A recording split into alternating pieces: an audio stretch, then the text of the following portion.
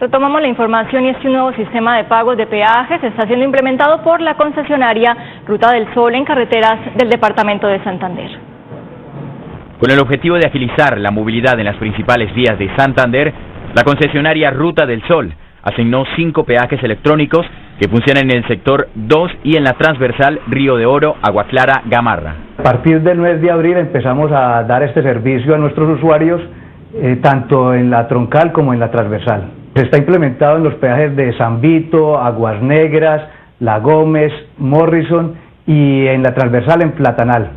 Con un sistema sofisticado, este proyecto aplicado en los cinco peajes busca brindar también seguridad en los conductores que no tendrán que detenerse para pagar su peaje y así se evita también transitar con efectivo.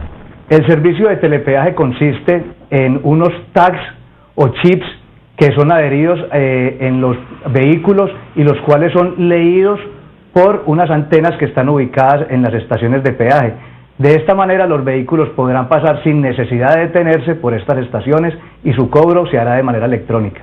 Si usted desea vincularse a estos beneficios, debe seguir las siguientes instrucciones.